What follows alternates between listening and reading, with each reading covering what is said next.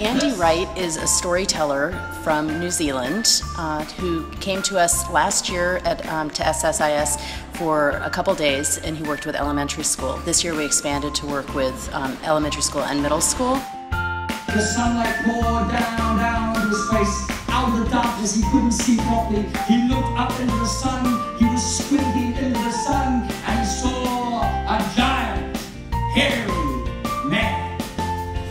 And he thought the hairy man had come. His storytelling is magic. He carries over 400 stories in his head.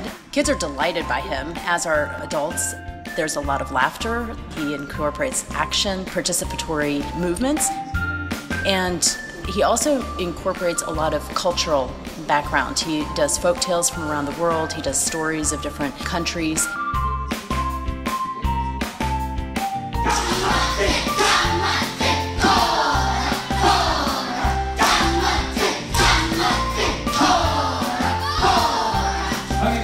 It was wonderful to have Andy with us for two full days, and we hope that his tradition of storytelling continues uh, throughout SSIS.